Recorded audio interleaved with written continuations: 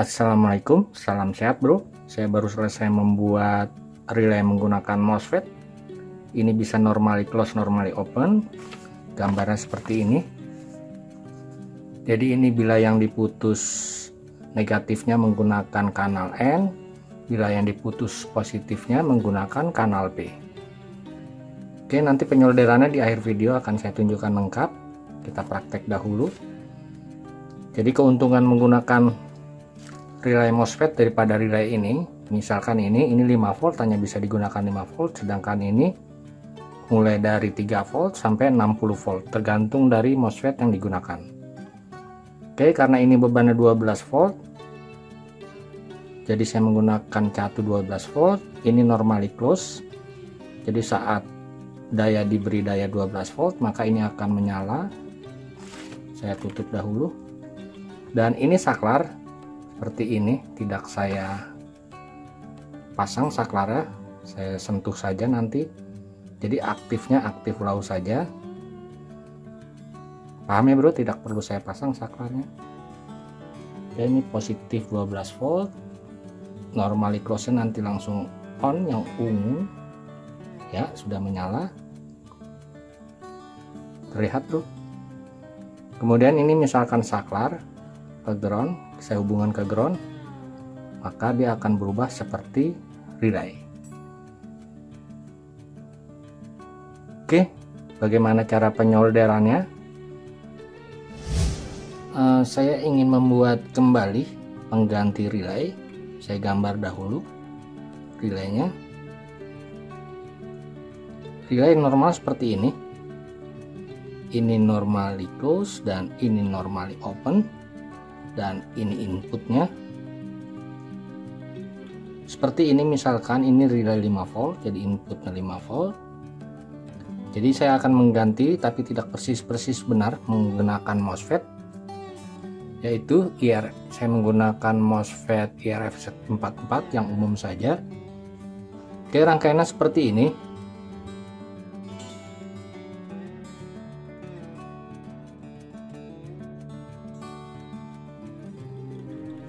Oke, kedua MOSFET ini saya menggunakan IRFZ 44 yang umum. Kemudian saya buat saja ini normally close. Artinya bila mendapat catu. Jadi ini normally close. Ini contoh saja beban, saya langsung saja nanti. Ini normally close dan ini normally open. Ini ke ground saya menggunakan 100 kilo saja bebas yang penting besar gunakan yang besar saja. Dan inputnya di sini saya menggunakan saklar. Ke ini VCC oke ke ground saja saklarnya. Ini normally oke sudah ini saya tambah resistor ke sini saya gambar begini saja. Maafkan miring. Ini saya menggunakan 10 kilo saja. Jadi ini pengganti sebagai normally close dan normally open. Ini menggunakan kanal N. Bila kalian menggunakan jadi yang diatur sebagai saklar negatifnya yang on ini atau ini tergantung bebannya maksudnya tergantung mana yang kita aktifkan nanti akan saya buktikan. Kemudian bila kalian ingin yang dirubah positifnya tinggal kalian rubah saja MOSFETnya kanal P. Saya gambar saja terlihat bro saya gambar kanal P. Oh ya nanti rangkaiannya ini R nya di sini ambilnya ini ground ini VCC gate nilainya 100 kilo. Kemudian untuk men-trigger ini ambil dari sini. Maafkan saya gambarnya rada sedikit buruk. Ini menggunakan 10 kilo saja dan ambil di drainnya Oke, ini kalian gunakan kanal P. Paham ya, Bro, perbedaannya? Jadi ini yang dilepas VCC-nya dan ini yang dilepas negatifnya. Oke, yang akan saya praktekkan ini uh, kemudian kelebihan MOSFET digunakan sebagai relay, tegangannya bebas bila menggunakan IRF Z44 ini maksimum bisa 60 volt.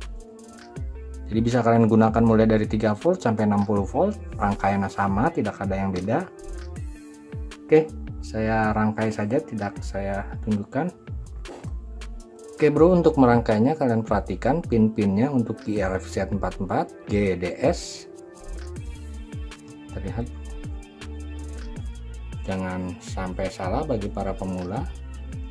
Ini depannya jadi GDS ini G ini drain dan ini source.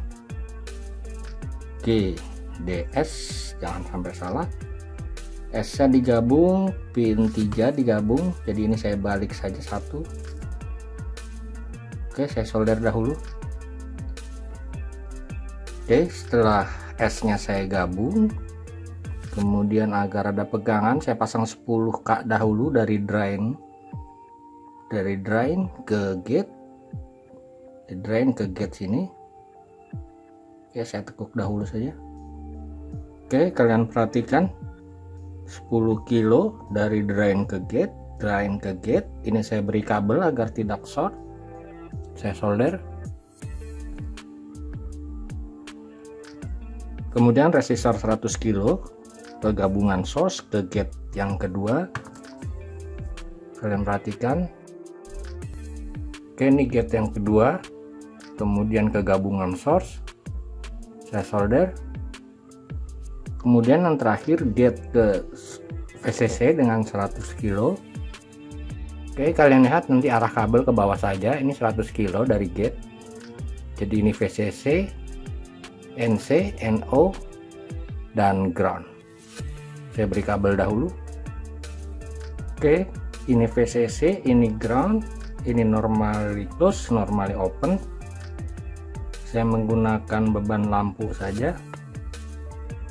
Oke kalian perhatikan positif saya gabung inputnya beban.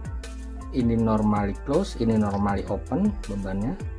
Kemudian ini dari gate saklarnya saya menggunakan manual saja ke ground nanti oke kita coba saja cahayanya tidak perlu kita lihat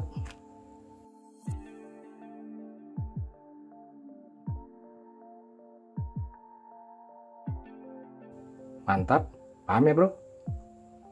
Oke, terima kasih telah berkunjung. Salam sehat. Wassalamualaikum warahmatullahi wabarakatuh.